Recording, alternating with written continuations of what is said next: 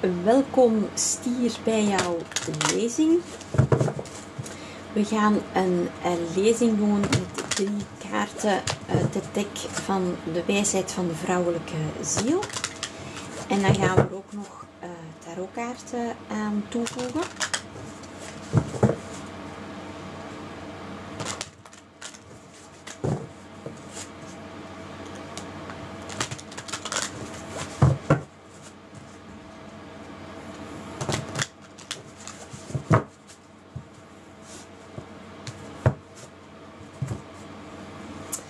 De eerste kaart is de wet van de aantrekking. Ik hou van het creatieve avontuur dat mijn leven is. Ik vier mezelf als de vrouwelijke schepper. Waardering, het goede waarderen in mijn hier en nu vergroot mijn bewustzijn voor alles wat goed is in het, in het universum. Dus de dingen die je dan gaat aantrekken zelf, die situaties die je zelf gaat eh, creëren, ga je zelf ook heel dankbaar uh, voor zijn in het hier en in het uh, nu.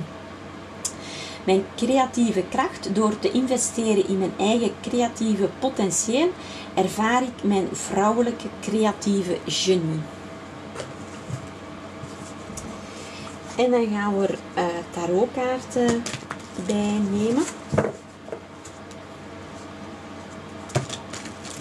En het is ook met uh, die uh, creativiteit uh, dat jij in staat bent om bepaalde situaties aan te trekken, bepaalde situaties te creëren, om daar dan vervolgens heel dankbaar voor te zijn.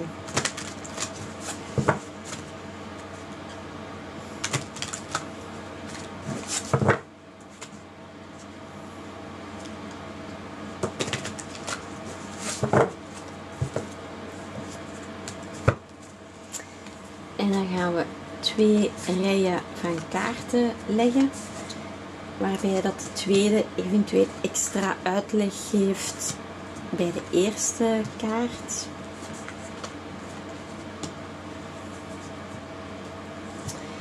En de eerste kaart is de hoge uh, priesteres.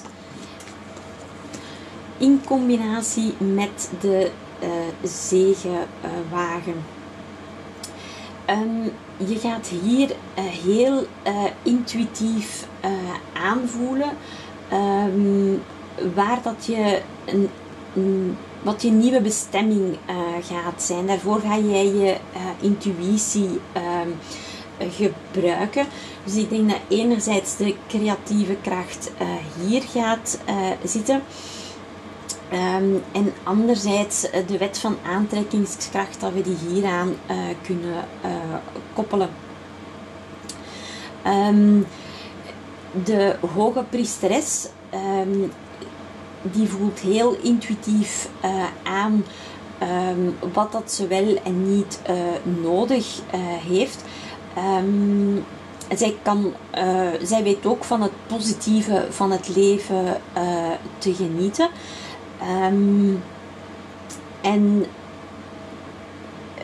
enerzijds het weten wat je wil, uh, geeft je dan die creativiteit om uh, van het leven te genieten.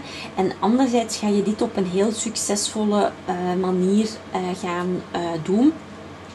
doordat je die situaties gaat creëren um, waardoor je succesvol gaat zijn in het aantrekken uh, van hetgeen dat je zelf uh, wil. Uh, belangrijk hierbij is wel dat je al mag gaan nadenken hoe dat je een aantal van die dingen zou kunnen beschermen naar de toekomst toe, omdat dat eventueel nodig zou kunnen zijn, dan ben je daar al op voorbereid. Dan hebben we de drie van Kelken in combinatie met uh, de duivel. Um, plezier maken in het leven is heel uh, belangrijk. Uh, je, je geborgen voelen bij vrienden. ehm, je goed voelen, een veilige thuishaven hebben. Ehm, en anderzijds mag je je gaan afvragen op jouw weg um, naar, met de zegenwagen, wat zijn de dingen die jou kunnen afleiden? Want uiteindelijk hier heb je uh, de twee uh, sphinxen, uh, zwart en wit. Anderzijds heb je hier ook de twee pilaren, zwart en wit. maar zij twee trekken hier jouw koets voort. Um, en zij moeten wel um, hetzelfde, dezelfde richting uitlopen. Dus jij gaat ervoor moeten zorgen um, dat jij niet afgeleid wordt van hetgeen dat jij eigenlijk wil uh, bereiken. En eventueel kan dat hier, nu mogen we het niet, niet doen natuurlijk, maar dat zou kunnen, hè, dat je feest vieren, um, dat dat voor jou belangrijk is. Uh, bij vrienden zijn, voor wie is dat niet belangrijk, is voor veel mensen belangrijk. En nu is een heel moeilijke uh, periode, omdat het niet mag, omdat het niet kan. Um, en dan zou het kunnen dat je er in deze periode jou eh, van bewust wordt van hoe belangrijk uh, die vrienden zijn voor jou. of omgekeerd, hè, dat je gaat beseffen, doordat je nu bepaalde mensen niet ziet, um, dat er een aantal dingen nu vlotter gaan in jouw leven. En dat er een aantal mensen waren die hier bijvoorbeeld een slechte invloed op jou hadden. Dat is ook een van de mogelijkheden. En dan hebben we het rad van fortuin met de aas van uh, zwaarden. Uh, dus hier ga je uh, met de aas van zwaarden ga je nieuw inzicht krijgen. En dat nieuwe inzicht dat gaat er dan voor zorgen dat er een volgende levensfase gaat starten. Um, en belangrijk hierbij is uh, dat je daar dan ook de nodige dankbaarheid uh, voor uh, opbrengt. Um, en vooral in het hier en in het nu geniet van dat nieuwe inzicht en die nieuwe levensfase die er voor jou staat aan te komen.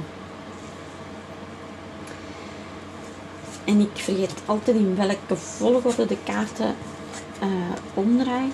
Dan heb je de twee van staven met de tien van uh, zwaarden. Um, met de uh, tien van uh, zwaarden um, mag je al jouw angsten, die mag je, um, eh, angsten en belemmeringen, uh, die mag je hier gaan loslaten met die uh, zwaarde 10. Hè, want hier de, de zon gaat opkomen. Er gaat hier een nieuwe dag aanbreken. en dan mag je hier die nieuwe keuze gaan maken. En de wereld die ligt aan onze voeten. dus er is een grote kans op slagen als we al uh, onze angsten, ons verdriet, onze, al hetgeen dat ons tegenhield in het verleden, dat we dat hier gaan uh, loslaten. En dan hebben we de wereld. Dus ik denk echt wel met deze twee kaarten dat het echt wel om een nieuwe fase in jouw leven gaat.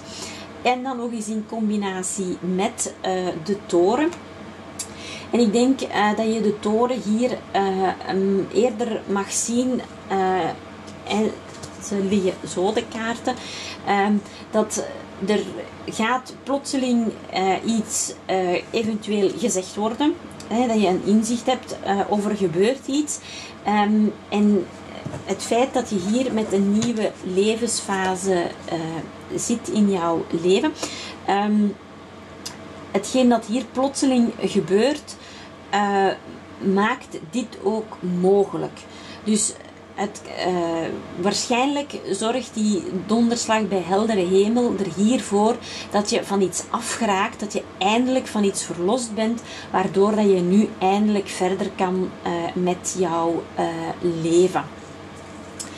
En dan denk ik dat in plaats van hier bang voor te zijn. Dat we vooral dankbaar moeten zijn.